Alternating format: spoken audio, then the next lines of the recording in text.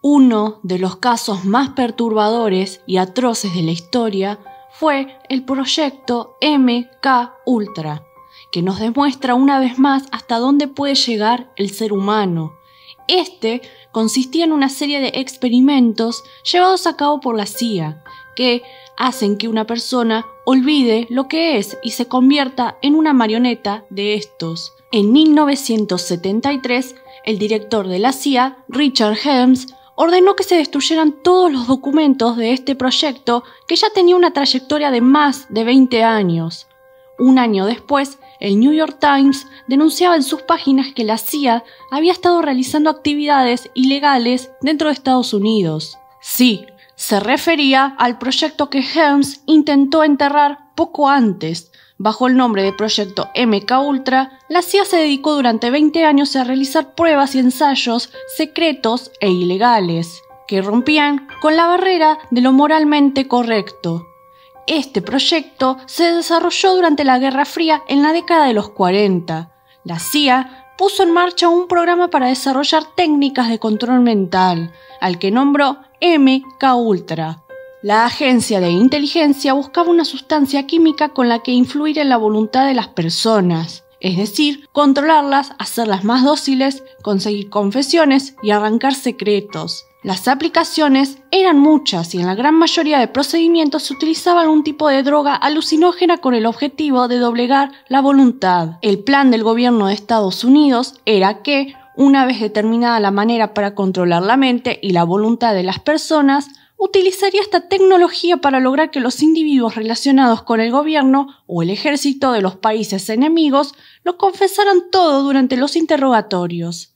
Ese fue el motivo y la razón de ser de la creación de este proyecto inhumano desde todos los puntos de vista.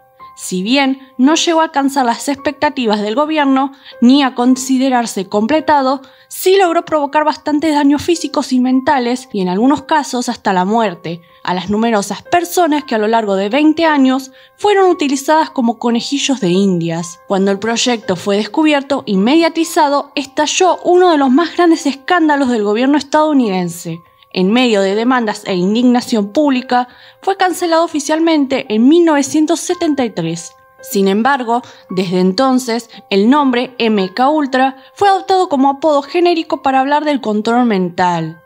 La CIA consideró que el LSD era una droga perfecta de la verdad, ya que garantizaba que a quien la consumiera confesaría cualquier información contenida en su cerebro, incluso aquellas cuestiones archivadas en las capas más profundas del subconsciente. En los experimentos solían drogar al sujeto para mantenerlo dormido por días, mientras se le aplicaban electroshocks. Con el paso del tiempo todos sus recuerdos y emociones habrían desaparecido. A partir de esto, se desarrolló la manera de eliminar por completo la personalidad para sustituirla por nuevos pensamientos y comportamientos. Otro de los procedimientos consistía en emitir sonidos a una frecuencia científicamente lograda con el objetivo de provocar la conmoción cerebral perfecta. Tras un periodo prolongado, la memoria de la persona quedaba borrada para siempre. Pacientes que llegaban al hospital con el fin de ser atendidos por desórdenes como ansiedad o depresión postparto eran los desafortunados elegidos. Uno de los voluntarios fue el escritor Ken Kesey. Este confiesa que se sumó a las filas del MK Ultra por su interés en el consumo de sustancias. Décadas más tarde, descubrió la verdad y lo definió como un infierno en vida, ya que aseguraba que no fue creado para ayudar a sanar a los pacientes con problemas mentales, sino para volver locas a las personas, debilitarlas y también con el propósito de quedar bajo el control absoluto de alguien más, alguien que estaba más arriba que todos. El abogado defensor del asesino material del presidente John Kennedy asegura que su cliente operó bajo la influencia de esas técnicas de control mental. Un incidente relacionado a este proyecto fue el que ocurrió en la noche del 15 de agosto de 1951, en el pequeño pueblo de Ponce Spirit. Este se vio envuelto en uno de los episodios más raros de su historia. Más de 250 personas fueron invadidas por la histeria colectiva. Al menos 50 de ellas terminaron en una residencia psiquiátrica. Otros 7 tuvieron peor suerte y murieron, dos de ellos por suicidio. Tiempo después, el British Medical Journal informaba que el origen del brote se debía a la contaminación del pan por cornezuelo, un hongo proveniente de las flores de centeno con la que se elaboró dicho pan, entre cuyos componentes está el ácido lisérgico, precursor del potente alucinógeno conocido como LSD. Pero esto solo fueron meras hipótesis y nunca se logró comprobar que este incidente extraño tuviera relación con el MK Ultra. Pero lo que sostiene esta teoría son las coincidencias, como la muerte de Frank Olson, un científico que estuvo en Ponce Spirit y que participó en el MK Ultra de forma muy activa, y este saltó desde la ventana de su hotel dos años después del incidente. Pero esto, lamentablemente, quedó en la nada, ya que no se investigó como debía, y se concluyó que Olson solo estaba drogado y se quitó la vida. Por otro lado, hay un grupo de personas que insiste firmemente en la existencia de una élite sombría, los Illuminati, que trabaja sin descanso para alterar la realidad y crear un nuevo orden mundial. Este grupo explica que los más famosos han sido elegidos, porque es, por medio de ellos, que se puede llegar a una enorme proporción de la humanidad. El plan se encuentra basado en un kit pro quo, tú me das algo y yo te doy algo. En pocas palabras se refiere a yo te doy fama y fortuna a cambio de que seas programado para que hagas y digas exactamente lo que se te ordene. Se cree que cada paso que dan y cada palabra que dicen dentro y fuera de los escenarios y frente a las cámaras o lejos de ellas es decidido en el nivel más alto de la administración del estudio que lo firmó. Aunque no existen pruebas fehacientes para demostrar esta teoría, innumerables señales vinculadas a una extensa simbología han puesto a los más críticos a darle una y mil vueltas para llegar a la misma conclusión. A través de sus estrellas MK Ultra, los Illuminati han lanzado incontables mensajes directos o subliminales, y así lograr la unificación de pensamientos, y más aún de estados de conciencia, con el objetivo final de masificar a millones alrededor del mundo desde muy temprana edad. Algunos ejemplos de estos famosos son Britney Spears. La carrera de Britney es, según los teóricos de la conspiración, un caso evidente logrado con base en vivencias traumáticas. Dotada de belleza y talento, se hizo famosa en Disney desde la infancia. Las letras recurrentes de su música incluyen temas de control mental como la soledad y la pérdida de la memoria, de los sentidos o del juicio. En el video de su canción I Slave for You, baila con una serpiente gigante sobre los hombros y muestra quién es realmente el que la controla. Por ejemplo, a los 25 años puso en su página la canción Rebellion en repeat mode, que trata acerca de personas cercanas a ellas quienes utilizan veneno y practican vudú. Britney, como ya sabemos, sufrió su famoso colapso nervioso. Entró en un salón de belleza y le pidió a la estilista que la rapara. Como ésta se negó a hacerlo, Britney tomó una rasuradora y ella misma lo hizo. Cuando le preguntaron por qué lo había hecho, respondió que quería verse así porque estaba harta de que todos la quisieran tocar. En pocas palabras, quería verse, según ella, menos atractiva. Después de esto, ingresó a una clínica de rehabilitación en Malibú, donde aterrorizó a más de uno cuando anotó en su cabeza el diabólico número 666. Corrió por los pasillos gritando que era el anticristo e intentó quitarse la vida colgándose con una sábana de su cama. Atravesó por un trance de completo desequilibrio, lo que significa que a sus manipuladores ésta se les salió de control. A esto se le llama el famoso despertar, como si de una Matrix se tratara. El videoclip I Wanna Go es el más revelador, según dicen. En él acosa a un fan, flashea a un policía en presencia de un niño, mata a un paparazzi con un micrófono y se da cuenta de que ella y todos los demás son robots programados. Al final, es rescatada por un narcotraficante que emite una risa maníaca y sus ojos se encienden de rojo para revelar que en realidad es un controlador demoníaco programado. Britney ha pasado por todas las fases, desde la inocencia y la victimización hasta el éxito y la rebelión, pero, a pesar de sus esfuerzos, no ha podido liberarse. Vive disociada de la realidad y conectada a la voluntad de sus manipuladores, según cuenta este grupo conspiranoico. Otro ejemplo de una famosa MK Ultra es Katy Perry. Gracias a su popularidad gigante, se convirtió en una de las favoritas de los Illuminati. Los aspectos de su vida fuera de las cámaras son oscuros y decadentes, porque vive encadenada a la voluntad de sus manipuladores. Katie una vez declaró que quería llegar a ser una cantante famosa, pero como a pesar de todos sus esfuerzos por lograrlo no sucedía absolutamente nada, decidió venderle su alma al diablo. Otra favorita es Lady Gaga. En su video Mary the Night comienza con un monólogo en el que explica la terrible situación de una víctima de control mental y lo traumático que es perder tus recuerdos para siempre. También confiesa que se siente como una pintura inconclusa. También el proyecto ha dejado huella en el mundo de la música. La mundialmente famosa banda británica Muse tituló una de sus canciones MK Ultra. Una de las frases de esa canción dicen que están perdiendo el control. Más que una señal de alerta es una llamada de emergencia. Las canciones tratan sobre la imperiosa necesidad de combatir y eliminar los sistemas de control, que reducen a las personas al nivel de robots. Y así podríamos citar cientos y cientos de ejemplos más donde quedaría en evidencia el control mental a todas las estrellas más famosas del mundo. Pero es aterrador pensar que en el mundo actual, en alguna medida, todos somos víctimas de control mental.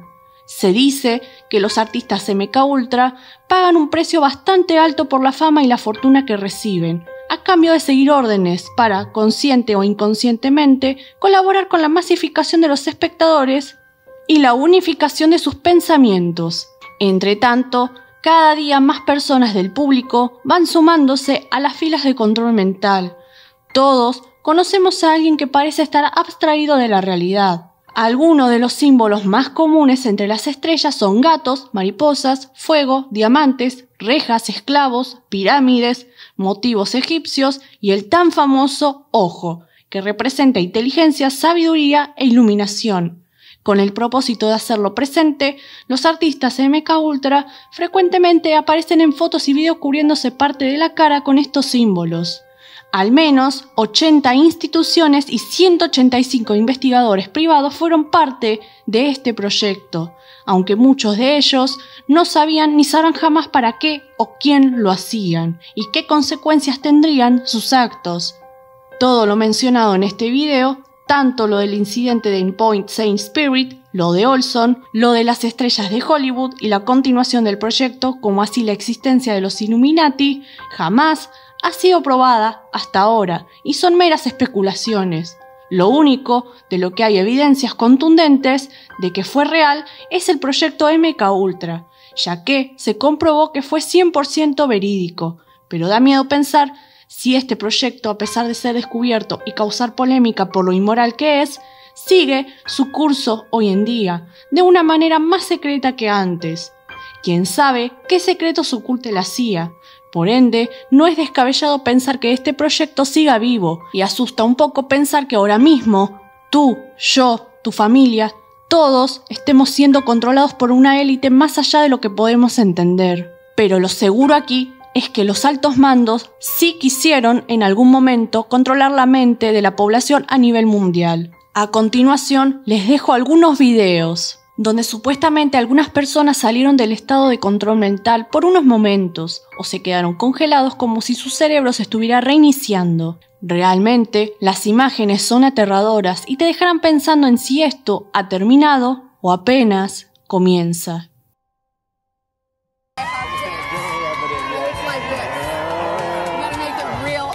That's exactly how you have to have a certain amount of distance between yes, the bodies exactly. in junior high. Yes, like they say in Catholic school, leave room for the Holy Ghost. anyway, there is a lot of uh, memories today, actually. It's a big day in music history. 35 years ago today, Elvis Presley passed away, the king of rock and roll. And as Mark Cohn says in his great song, Walking in Memphis, there's a pretty little thing waiting for the king. Uh, it's a good, uh, a good day to die. I, but I, I, suppose it's because you had kind of a good day, and if you would have died, well, so be it. Is that it? That's right. It, that, that, that's, a, that's a good explanation. Have a sandwich, and let's go shopping.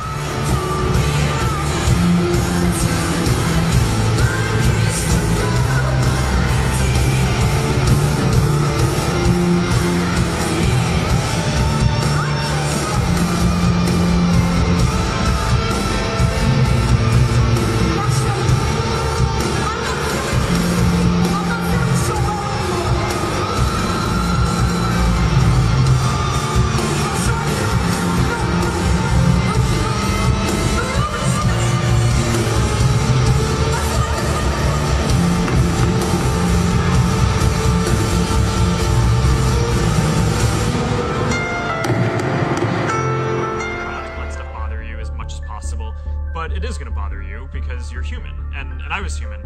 I am human still. Um, but um, but it, but I was just referring to myself in the past. Um, not that I was not human. Thing, and I thought that was a fascinating All right, answer. okay. You want to take off the hoodie? No, I never take off the hoodie. I know you don't. What's with that? There's a group of women in the audience that wish you would. And Uh, no. girls? Whoa. All right. Sorry. Yeah, that's okay. Um, can you explain what this instant personalization thing was that you did, and why you did it, and what was the what's the value of it to your users? Maybe I should take off the hoodie. Take off the hoodie. Go ahead. What the hell? Dumb and Dumber 2 opens tomorrow. Please say hello to Jim Carrey.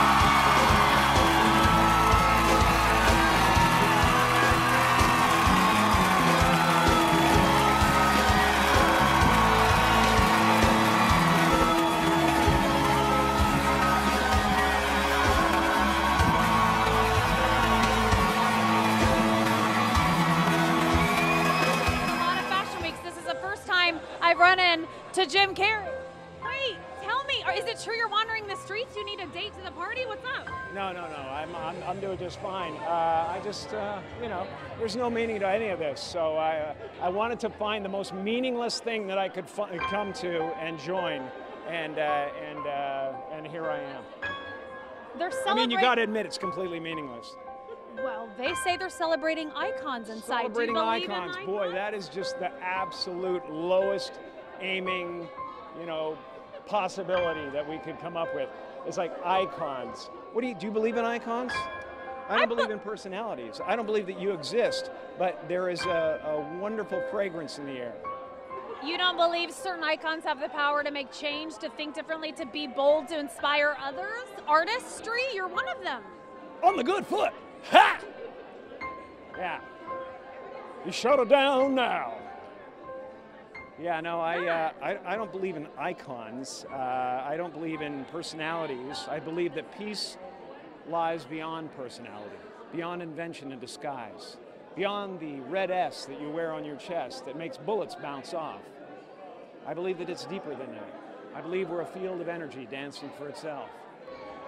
And uh, I don't care. But Jim, you got really dressed up for the occasion. You look good. No, I didn't that an accident? I didn't get dressed Who up. Who did? There, there is no me. There's no you. No. We're not here. This is a dream. There's just things happening. And there are clusters of tetrahedrons moving around together. Okay. Yeah. So what's happening in our world right now? Because there is a lot of news that actually is relevant. That's not that Here's uplifting. the thing it's not our world. None That's of this is key. real. Nope. So you're just passing We don't through. matter. We don't matter. Oh wow. There's the good news.